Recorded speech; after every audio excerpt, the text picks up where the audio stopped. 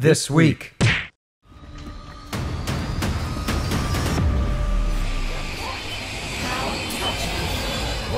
Transformers came to the US last week, and, well, it has some problems, most noticeably blurry graphics and a complete lack of enemy variety. But if you're a Transformers fan, it's still a competent rail shooter with a nice progression system that lets you kill everything in sight. Sadly, when the game launched here in North America last week, the European version was nowhere to be seen, though, according to the devs over at Meta4 Interactive, we should be seeing it sometime this week.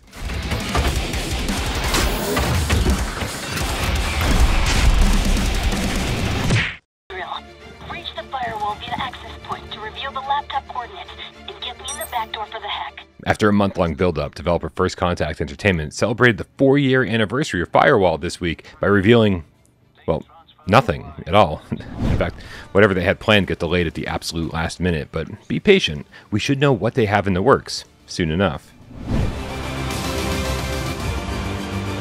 All right, let's get in position for breach.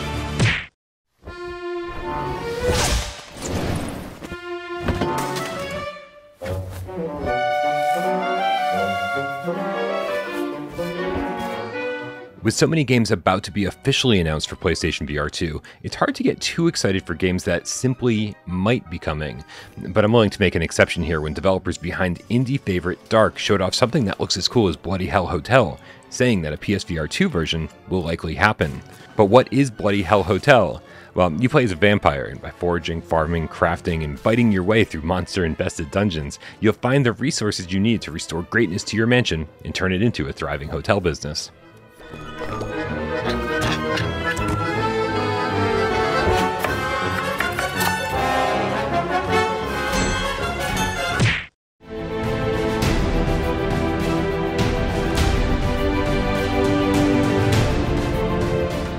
Immerse yourself in a voxel game designed exclusively for VR. A beautiful, infinite procedural world to explore, gather resources, craft with your hands in 3D, and build anything you can imagine. Featuring great VR controls, near infinite view distances, and much more. Much like the game we just talked about, Bloody Hell Hotel, Cyube VR is one we should see on PSVR 2 if everything goes as planned, so we'll be keeping an eye on this one for sure.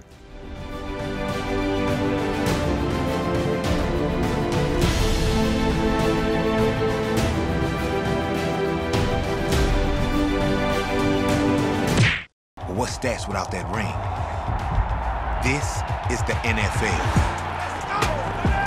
It ain't just about your arm. You're leading every player in that huddle. Lead your team to the Super Bowl, improve your quarterback skills by participating in drills, or play catch virtually with your friends in your favorite NFL stadium. As an NFL quarterback, you'll feel the excitement of what it's like to lead your team and compete under the bright lights with thousands of screaming fans.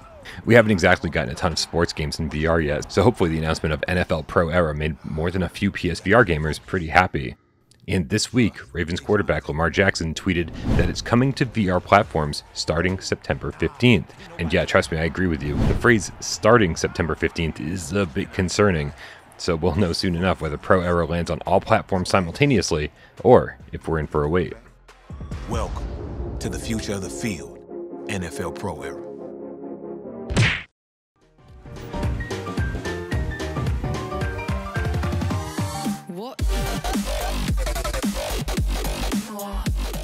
Last week, the Synth Riders team dropped five tweets hinting at something coming to the game, and this week we found out that it's a new League of Legends music pack.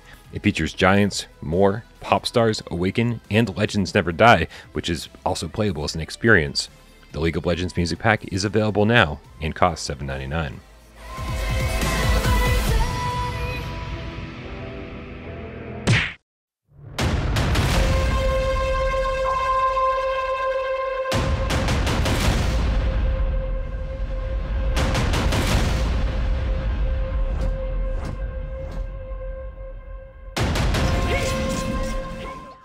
Defined as a single player co op adventure where you play the roles of two characters, a knight and an alchemist, Mixture follows an exiled knight, Steel Moth, who traverses dangerous barren worlds of living metals, ores, and crystals to find means of redemption. To achieve it, she reluctantly strikes a pact with and is joined by a power hungry master alchemist who can twist the properties of elemental matter. Together, they form a force to be reckoned with.